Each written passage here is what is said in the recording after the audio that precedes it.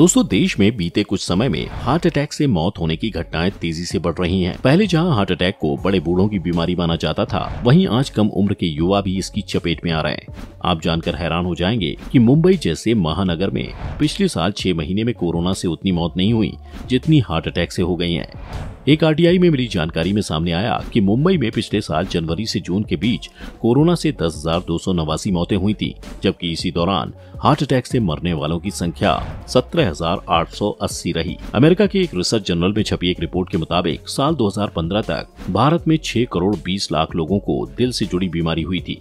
इनमें से 2 करोड़ 30 लाख लोग ऐसे थे जिनकी उम्र 40 साल से कम है, यानी 40 फ़ीसदी दिल के मरीजों की उम्र 40 साल से कम है। ऐसी एक स्टडी 2018 में भी आई थी।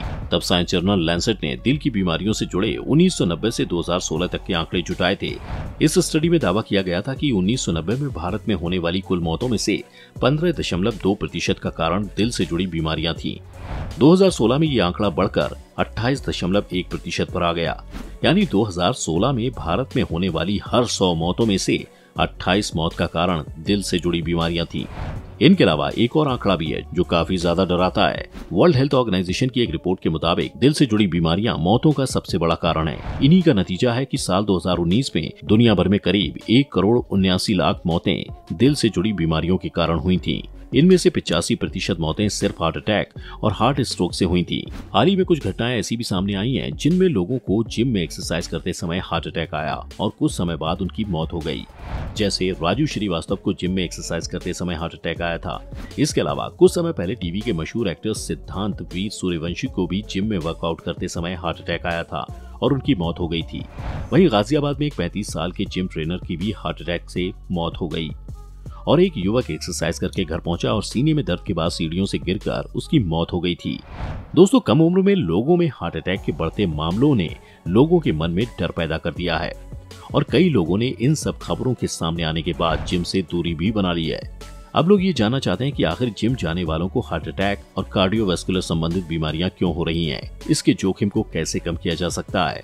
भारत में हार्ट अटैक के बढ़ते हुए मामलों में अधिकतर लोगों की उम्र 30-40 से भी कम देखी जा रही है। कोरोना महामारी के बाद से लोगों में हार्ट संबंधित बीमारियों का जोखिम काफ़ी अधिक बढ़ गया, क्योंकि कोविड 19 वायरस के कारण रक्त वाहिकाओं में ब्लड क्लॉट बनने लगे थे। इस कारण से हार्ट संबंधित बीमारियों के मामलों में बढ़ोतरी देखी जा रही है।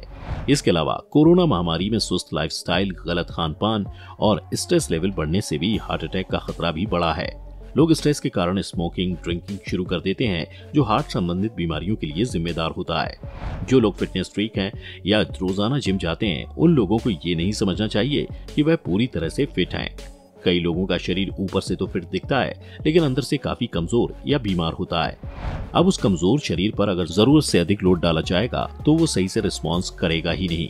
आप मानकर चलें कि एक व्यक्ति जो दो तीन साल से रनिंग कर रहा है, अब अगर उसे पाँच किलोमीटर रनिंग करने के लिए बोला जाए तो वो आसानी से कर लेगा, क्योंकि वो दो तीन साल से प्रैक्टिस कर रहा है। वहीं अगर किसी ऐसे व्यक्ति से पाँच किलोमीटर रनिंग करने के लिए कहा जाए, जिसने कुछ हफ़्ते पहले ही रनिंग करनी शुरू की है तो वो रनिंग नहीं कर पाएगा। शरीर पर ज़रूरत से अधिक दबाव डालना, थकान, सांस फूलना और हृदय में ऑक्सीजन की आपूर्ति को प्रभावित करता है, जिससे हार्ट अटैक या सडन कार्डियक डेथ का जोखिम बढ़ सकता है। दोस्तों, आज के समय में यंगस्टर्स जिम फिटनेस या एप्स बनाने के लिए जाते हैं। लेकिन युवाओं को ये जानने की ज़रूरत है कि सिक्स पैक एप्स बनाने से फिटनेस नहीं होती। फिटनेस का मतलब है कि आप अपने डेली रूटीन के काम कितनी आसानी से करते हैं और आपका शरीर कितना स्वस्थ है। जिम करने का सीधा सा मतलब है कि आप फिट एंड हेल्दी रहें। यानी आपको कोई बीमारी ना हो। ब्लड प्रेशर और कोलेस्ट्रॉल कंट्रोल में रहे। लेकिन आजकल के युवा जिम में जाकर दूसरों को देखकर ईगो लिफ्टिंग करते हैं और शरीर पर क्षमता से अधिक लोड डाल देते हैं। इस हालत में आपकी बॉडी कोलैप्स हो जाती है और विभिन्न समस्याएँ होने लगती हैं। इसके अलावा दोस्तों, आज के समय में जिम में कम उम्र के युवा भी सप्लीमेंट का काफ़ी अधिक प्रयोग कर रहे हैं। अब वे सप्लीमेंट हर बॉडी टाइप के लिए सही हैं या नहीं? उनके साइड इफ़ेक्ट क्या है? या उनका प्रयोग कैसे करना है? इस बारे में जाने बिना ही जल्दी बॉडी बनाने के चक्कर में वे उनका प्रयोग करना शुरू कर देते हैं। अगर सप्लीमेंट नकली है, ओवरडोज लिया है, या फिर शरीर के लिए वह उपयुक्त नहीं है अगर इन सब बातों को जानने के बाद भी कोई सप्लीमेंट का यूज़ करेगा तो उसकी हार्ट रेट हाई होगी ब्लड प्रेशर बढ़ेगा और हार्ट अटैक का जोखिम बढ़ जाएगा।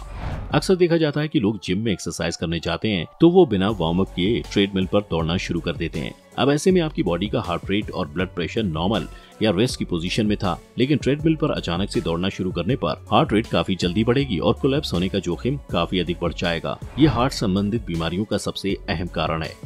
हालाँकि दोस्तों एक्सरसाइज करने से शरीर को कई फ़ायदे होते हैं और हर इंसान को कम से कम रोज़ाना 30 से 45 मिनट तक एक्सरसाइज करनी चाहिए। लेकिन एक्सरसाइज का मतलब ये नहीं कि जिम में जाकर हैवी वज़न ही उठाएँ। एक्सरसाइज से मतलब फ़िज़िकल एक्टिविटी से है। आप cycling swimming gardening walking gyming या फिर कोई भी फ़िज़िकल एक्टिविटी कर सकते हैं। अगर कोई जिम में जाकर एक्सरसाइज कर रहा है तो उसे सीधे जाकर हाई इंटेंसिटी एक्सरसाइज या ऐसे वर्कआउट करने से बचना चाहिए, जिसमें हार्ट रेट अचानक से बढ़ जाती है। हमेशा अपने शरीर की क्षमता के अनुसार ही एक्सरसाइज करें। एग्ज़ाम्पल के तौर पर अगर कोई एक साल से एक्सरसाइज कर रहा है और 50 किलो वज़न उठा रहा है तो वह प्रैक्टिस से उठा रहा है। वहीं अगर आप दो हफ़्ते जिम गए और इतना अधिक वज़न उठाने की कोशिश करेंगे तो ज़ाहिर सी बात है, कोई ना कोई इंजरी होगी ही। इसलिए किसी भी एक्सरसाइज को करते समय अपनी शारीरिक क्षमता ज़रूर देखें। कोई भी कार्डियोवास्कुलर एक्टिविटी जैसे रनिंग हाई इंटेंसिटी एक्सरसाइज आदि को 10 मिनट से अधिक ना करें। पहले इन एक्सरसाइज को दो मिनट से शुरू करें और फिर हर हफ़्ते थोड़ा थोड़ा समय बढ़ाते जाएँ। एक्सरसाइज उसकी सीमा को किसी सर्टिफाइड फिटनेस कोच के अंडर में रहकर ही बढ़ाएँ। वहीं ज़रूरी लगे तो किसी डॉक्टर से मिलें और उन्हें अपनी फ़िज़िकल एक्टिविटी से अवगत कराएँ। लोगों की जीवन शैली में बदलाव भी भारत में हार्ट संबंधित बीमारियों का एक कारण है शारीरिक गतिविधि की कमी, कार्बयुक्त भोजन unhealthy processed ultra processed foods heart संबंधित बीमारियों को न्योता देते हैं। इंडियन फ़ूड में लगभग छियासी प्रतिशत कार्बोहाइड्रेट होता है। प्रोटीन हेल्दी फैट और फाइबर वाले फूड्स को अपनी डाइट में जोड़ें। इसी के साथ स्मोकिंग भी हार्ट संबंधित बीमारियों का सबसे बड़ा कारण है। और अगर कोई शराबी पीता है तो उससे उसका बीपी और हार्ट रेट बढ़ जाता है, जिसके कारण हार्ट संबंधित बीमारियों का खतरा बढ़ जाता है। इसलिए हमेशा हेल्दी लाइफस्टाइल रखें और गलत खाने पीने की चीज़ों से दूर रहें। हार्ट अटैक से बचने के लिए कम से कम सात से आठ घंटे की नींद लें और तनाव बिल्कुल ना लें। इन सभी बातों को फॉलो करने से हार्ट संबंधित बीमारियों के खतरे को कम किया जा सकता है। इन सब के अलावा कुछ और भी चीज़ें हैं जिनका ध्यान रखकर आप अपने आप को हार्ट अटैक के खतरे से बचाए रख सकते हैं। दोस्तों George Institute of Global Health India की की गई एक स्टडी बताती है कि शहरी भारतीय रोज़ाना औसतन 11 ग्राम नमक 10 चम्मच चीनी और बत्तीस दशमलव छह ग्राम तेल घी का सेवन करते हैं, जबकि डब्ल्यूएचओ की सिफारिश है कि हर दिन 6 ग्राम नमक 6 चम्मच चीनी और 20 ग्राम तेल या घी ही खाना चाहिए।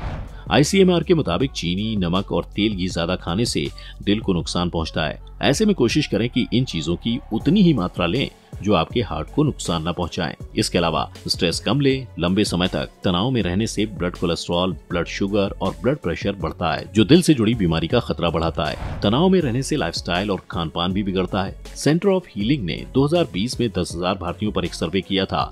इसमें सामने आया था कि चौहत्तर फ़ीसदी भारतीय तनाव से जूझ रहे हैं। इसलिए आप अपने आप को तनाव से मुक्त रखें। इसके लिए आप योग और मेडिटेशन का सहारा ले सकते हैं। दोस्तों, साल 2017 में स्टैनफोर्ड यूनिवर्सिटी की एक स्टडी आई थी। ये स्टडी 46 देशों में की गई थी। इस स्टडी के मुताबिक हम भारतीय हर दिन महज चार हज़ार दो सौ सत्तानवे कदम ही चलते हैं। इस लिस्ट में भारत उनतालीसवें नंबर पर था, जबकि डॉक्टरों की सलाह है कि दिल की सेहत के लिए कम से कम इससे दोगुना चलना चाहिए। लगातार बैठे रहने या कम चलने से दिल से जुड़ी बीमारियाँ होने का खतरा बढ़ जाता है। इसलिए सुबह या शाम को जब भी वक्त लगे तो वॉक पर ज़रूर निकलें, ताकि आपका हार्ट पूरी तरह से स्वस्थ रहे। इन सब के अलावा, एक चौंका देने वाला आंकड़ा ये भी है कि भारत में 16 से 44 साल के करीब 25 करोड़ से ज़्यादा लोग स्मोकिंग करते हैं।